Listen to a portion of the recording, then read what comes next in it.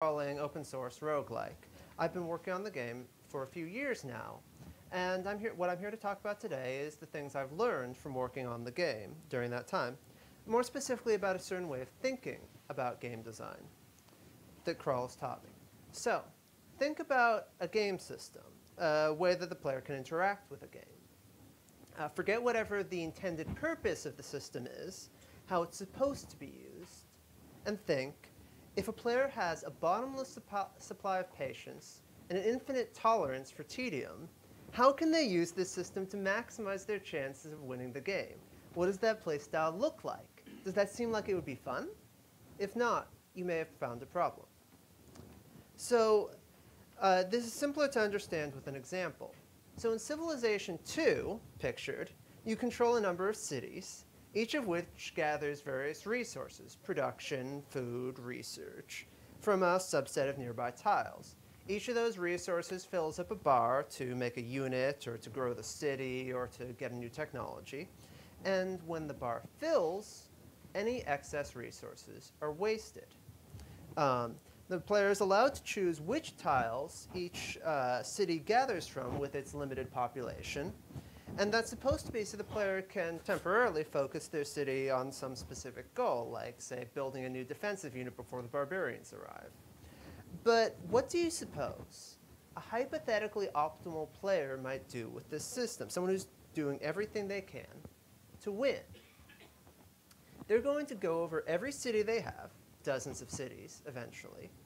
And every turn for hundreds of turns, they're going to manually reallocate their city's populations to make sure that no resources are being wasted after a bar fills up. This does produce a significant advantage for a player who's doing this over time. But it's a huge distraction from the sort of strategic and tactical decisions that the game is supposed to be about. In fact, it's just make work. Later Civilization games improved the situation considerably by the simple tweak of letting excess resources carry over into the next thing built, the next city growth, whatever. Um, it's not a perfect fix, since the hypothetically optimal player will be on the lookout in every city every turn to see if they can bump around their workers just enough to get uh, a bar exactly filled up um, to complete it one turn early. But the impact that has is much smaller. It is an improvement in the game. Uh, another example, here, going back to Stone Soup. When Stone Soup, when it was released, had a pretty unusual experience system. You gained experience by killing monsters. That part is normal.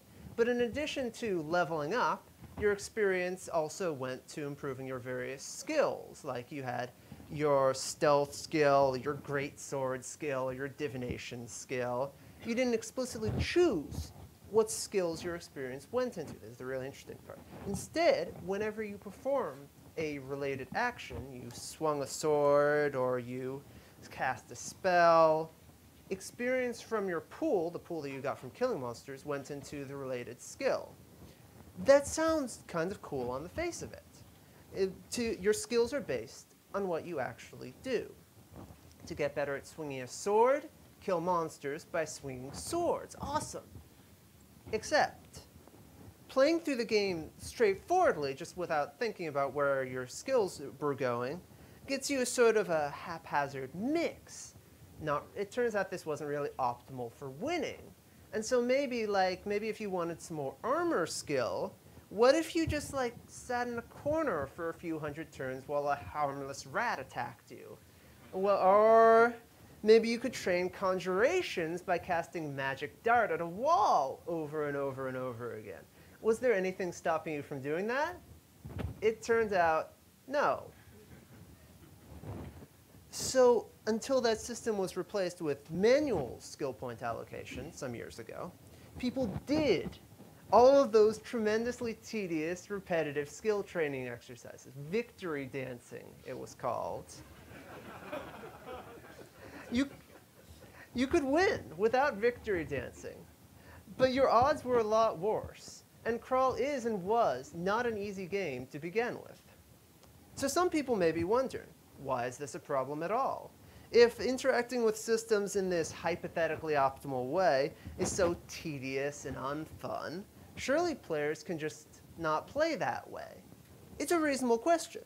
and there are games for which hypothetically optimal play is not a relevant concept. But for a game like Crawl, or a game like a lot of roguelikes, the existence of unfun hypothetically optimal play is a real problem, even if players don't actually engage in that kind of play. Obviously, if they do play that way, as they did with Victory Dancing, that's no fun. But even if they don't, players are going to die in Crawl. A lot. It's a hard game. And when they die, after they finish cursing and swearing, they're going to think, why did I die? Sometimes they're going to think, you know, oh, I should have started teleporting out of that fight as soon as I saw that dragon, not five turns later. Or, oh, if I'd had a potion of haste, I could have beaten Sigmund. Um, well, next time. And now they're already planning out their next game. That's a fun way to die. What's not fun is dying and having at the back of your mind the thought, oh, if only I'd sat in a corner for several hundred turns to train fire magic, then I would have had, won that fight. Uh, if I'd cast detect monsters every other step, I'd never have had to fight that monster in the first place, if only. NetHack has something comparable called pudding farming. Take the weakest weapon you can find, hit a pudding monster to make it split in half, and when you've gotten enough puddings, kill them and cash in their corpses for a bevy of divine rewards. Extremely useful, not fun.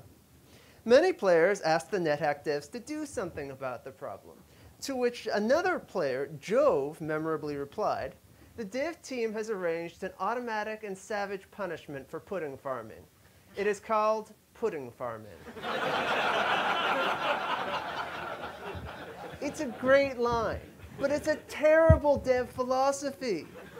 A situation like pudding farming puts a game at war with itself, puts the fun way to play in conflict with the way that makes you most likely to win. It doesn't have to be that way. And for what it's worth, the NetHack devs seem to have agreed. They removed pudding corpses in the last release, the Miraculous 3.6, which seems to have more or less solved the problem. One assumption that I'm making here is that all roguelikes are about the same things that Crawl is, giving players an a series of interesting choices, a set of tactical and strategic challenges. For some games, this is less true. For example, Ivan is essentially a cruel prank on the player.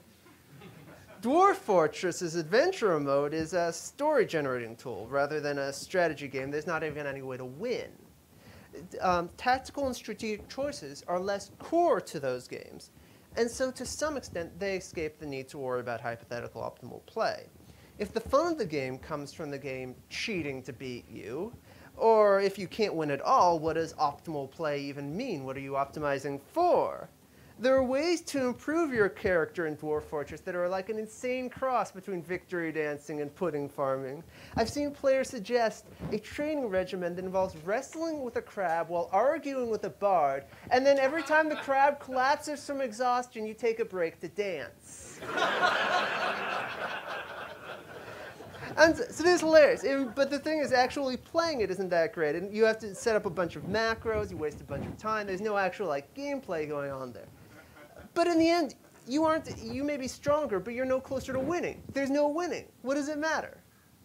It's goofiness. Still, though, though there's no broad strategic end goal in something like Dwarf Fortress's adventure mode, there are still battles, for example, which have tactical goals, and hypothetically optimal approaches to achieving those goals. Are those approaches fun? As long as you have clear goals for the player to achieve, hypothetically optimal play does remain a relevant concept. Even if it's not applicable to the whole game, it still can be applicable to parts. Uh, okay, but why do some games, like uh, traditional roguelikes, run into these sorts of uh, hypothetically optimal problems all the time, but other types of games, like uh, still focused on clear goals, on winning or whatever, don't? One key reason is a lack of time pressure. In the game Crypt of the Necrodancer, enemies have specific movement and attack patterns. They're very most of them are completely deterministic. For example, red dragons move one tile towards you every other turn. unless you move into the same row as them. And then they take exactly one turn to breathe in, and then breathe fire across the row on the turn after. The result of this is that there are specific patterns, uh, sequences of repeated movements and actions, that can let you defeat a dragon every time without taking damage without fail. That's hypothetically optimal play. And in more traditional roguelikes, this would be pretty annoying. Imagine doing a little dance for every one of the dozens of dragons you fight in a game of Dungeon Crawler, every one of the hundreds you fight in a game of Angband. There wouldn't be any challenge to it beyond the first few times, just rote repetition. But Crypt of the Necrodancer has time pressure. You only have about a second to take each move. That doesn't just add challenge to the actions involved, it fundamentally transforms them do, uh, successfully executing the maneuvers needed, the dragon slaying dance or the armadillo sidestep and so forth, becomes satisfying in itself. And that's very generally applicable. In situations with real-time constraints, like in Necrodancer or multiplayer FPSs or other popular games, situations that would be annoying without time constraints become entertaining challenges in themselves. Real-time mechanics are pretty heretical for a roguelike but you don't necessarily have to go that far. The core problem the Necrodancer solves is the existence of actions without a cost, like actions like freely rearranging your tile workers in Civilization. And there are often other ways to solve that problem. So in Dungeon Crawl, going back to this game for a moment, you can give your allies orders like go here, attack that, run away. And if you were able to give those orders freely, the game would bog down to a crawl anytime you had allies. Imagine micromanaging each of a dozen orcish minions or more for every turn of every battle. There are a lot of battles in Crawl. But Crawl has a cost for giving orders. Each order takes a turn, just like moving or attacking that turns unit management into a real tactical choice. Is it more important to order all of my orcs to focus fire on the wizard, or should I attack him myself? And it removes that hypothetically optimal problem. There are times when fixing hypothetically optimal behavior, that's totally unreadable, involves harder trade-offs. In older versions of Crawl, monsters were able to pick up items from the ground and use them against the player. That could produce cool situations, when you fought an orc that spawns with a scimitar of distortion, you weren't just thinking about how to kill her and keep her from banishing you to the abyss. You were also thinking about how to use maneuvering and positioning and tactics to keep her friends from just picking the scimitar right back up off her corpse. You, uh, more commonly, though, it also uh, the mechanic also produced annoyances. After fights ended, optimally, what you would do is you would go around and pick up any potentially dangerous weapon and go toss it into some lava or toss it into a corner somewhere where monsters wouldn't pick it up and use it against you. That got kind of tedious. So how do you fix that? Our solution was more or less to remove the ability for monsters to pick up items. Probably that was the right call, since it's really hard for any tactical mechanic to be interesting enough to justify common annoyances like that frequent annoyances. But that did mean we lost those interesting tactical situations I described earlier. Net improvement, but still some loss. But it's useful to consider the root cause of this monster item pickup problem. Why was monsters picking up items interesting while fighting enemies, but annoying afterward? Why was it optimal to spend all that time hiding dangerous weapons away? The deeper problem is what I'm going to call the great sin of Crawl, and of all the old school roguelikes, these concepts of being in combat versus out of combat. It's not a formal distinction, it's not something in the game itself. It's just an emergent property. Sometimes enemies are nearby, and sometimes they aren't. But when enemies are nearby, every turn matters, and when they aren't, turns and actions become almost free. The meaninglessness of out-of-combat costs, out-of-combat time, produces endless problems. Various effects, like buffs that enhance the player's combat ability or summoning spells that create temporary allies, become hypothetically optimal to constantly recast and refresh while outside of combat, so they'll all already be active at the start of every fight you enter. Failure chances on abilities become irrelevant. You can just retry them until they succeed. And it's very hard to restrict uh, or balance systems for being in combat versus out of combat because there's no formal mechanical difference. And there's a lot of blurry cases. Maybe there's an enemy right around the corner. Maybe he's about to wander into you. Maybe he's not. Where do you, where do you set the line? So one approach to fixing this is to say, okay, you can loiter around outside of combat all you want. You just won't get anything for it. Games like DoomRL, Sproggiwood, and Desktop Dungeons solve the problem by removing health and magic regeneration over time. And that approach avoids many of the problems I mentioned. However, turning HP in, uh, MP into strategic resources by doing this creates new challenges. In Sproggiwood, for example, killing enemies gives the player stamina, essentially MP, and if they have a vampiric weapon, HP. In some levels, spider pots uh, continuously spawn weak spider enemies. Uh, these enemies don't give the player XP, but they do give stamina and, if you have the vampiric weapon, HP. That means that sometimes it's a good idea to farm spiders until your resources are topped off, which is kind of boring. If you could just rest to regain HP, of course, there'd be no reason to do that. Similarly, Crawl has a race that doesn't regenerate HP over time, the Deep Dwarf. This race tends to be de dependent on various vampiric effects to get its uh, HP back. Um, and that's not a problem in itself. It's possible, however, to leave weak enemies in an earlier level to create a sort of vampire farm. Whenever you're badly injured, just go back, uh, suck some health out of, them, and then go back to adventuring while they regenerate. Uh, deep dwarves are a powerful enough race that most players don't do this in practice they're kind of overpowered, honestly. But it does speak to the difficulty of retrofitting this uh, a no regen over time design into a traditional roguelike. In general, removing health regeneration from roguelikes makes them less forgiving. Without the reset that resting between fights provides, it's much easier for bad play to accumulate and for death to come as a result of decisions made quite a while beforehand if and as that makes death feel inevitable, like your character is already as good as dead, and you're just going through the motions, it's not very fun. This tends to especially be the case in fuzzier game designs that assume the player is going to take a bit of damage in each fight, like in Crawl or DoomRL, unlike Sproggiwood or Necrodancer.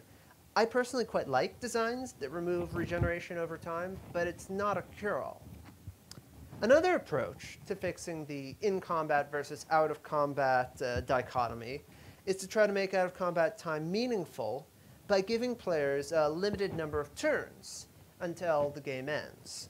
The most straightforward approach, a simple fixed time limit, like 4,000 turns until the game ends, win before then or die, suffers very badly from the good is dead problem that I mentioned a moment ago especially for new players, it's very easy to end up in a situation where you've actually lost a long time ago, but the game doesn't have the dignity to end itself until much later. This problem is obvious enough that I'm not aware of any game that it's actually stumbled into it.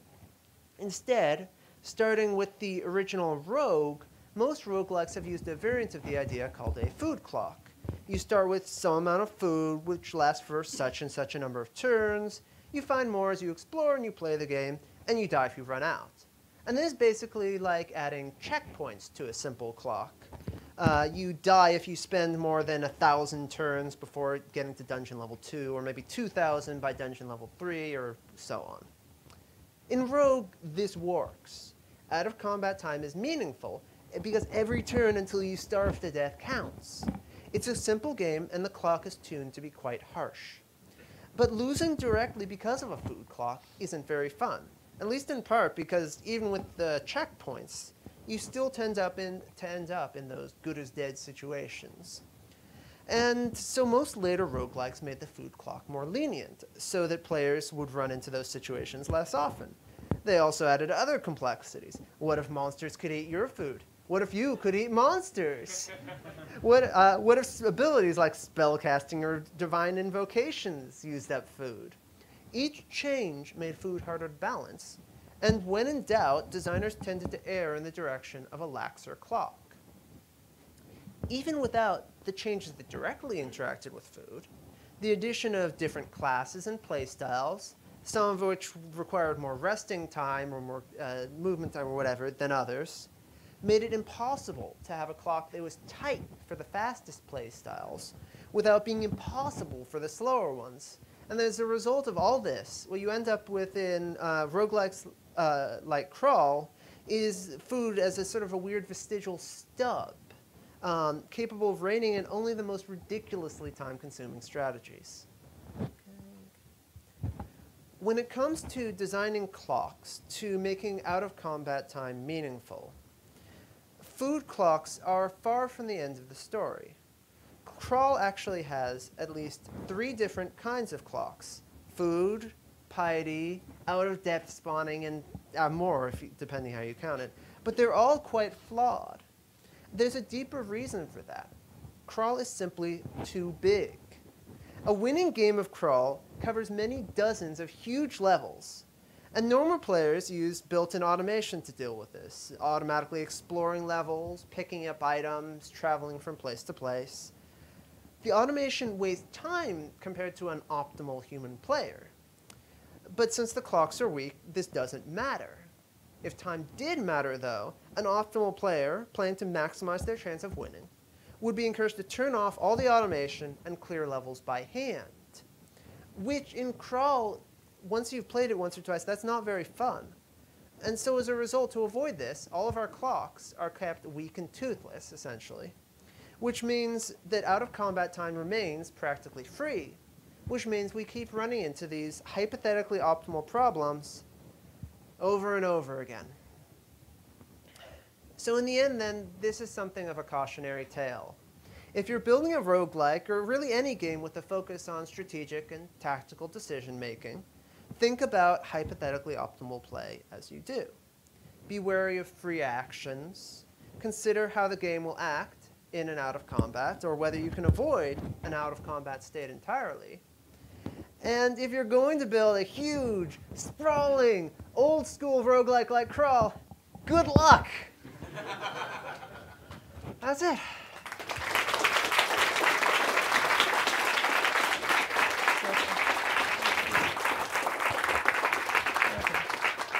So we have time for some questions. Uh, yeah. Uh, yeah.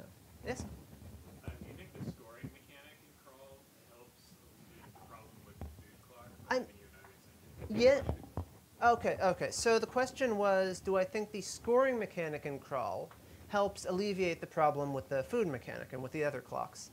And the way that scoring in Crawl works is that it's, um, well, there's sort of basically two different ways it works. Until you've beaten the game, then uh, scoring is just based, based on how far through it you've gotten, more or less. But uh, once you beat the game, um, scoring is goes exponentially higher, and it's based more or less on how fast you beat the game in terms of in-game turns, not real time.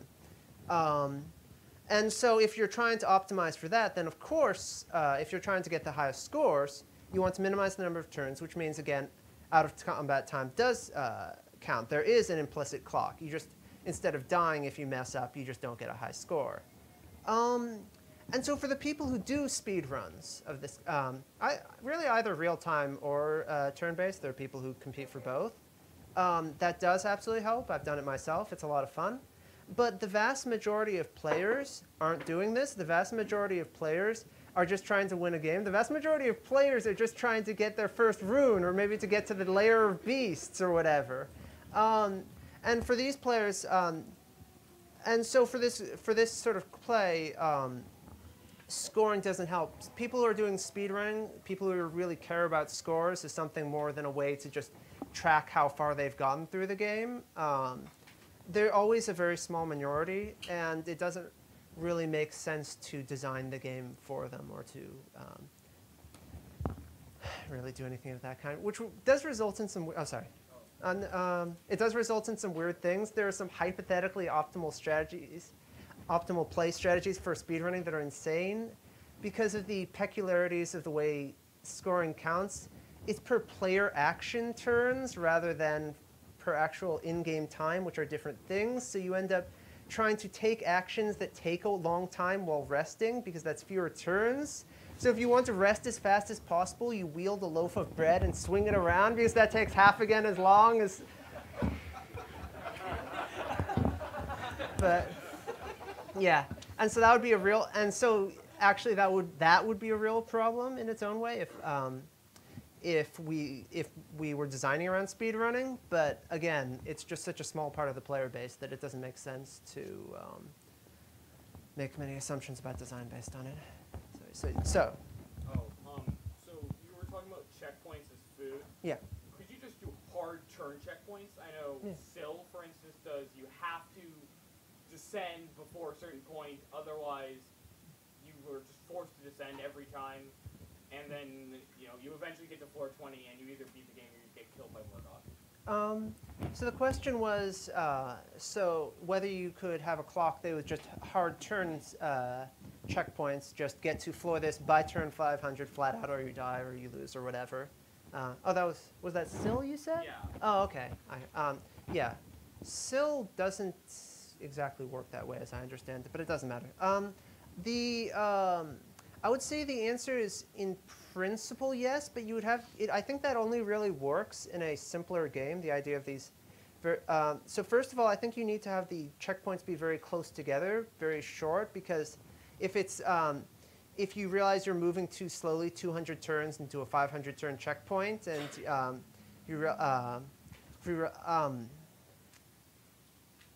I think it's uh, again you have that uh, already dead problem potentially. I, um, and the other thing is again you have to have something where there's where playstyle there are relatively few pl- similar playstyles in terms of the time they take. You have to um, they would have to be very well balanced because otherwise, again, you end up with the situation where either um, some playstyles aren't being constrained by the clock at all, really, or other playstyles don't work.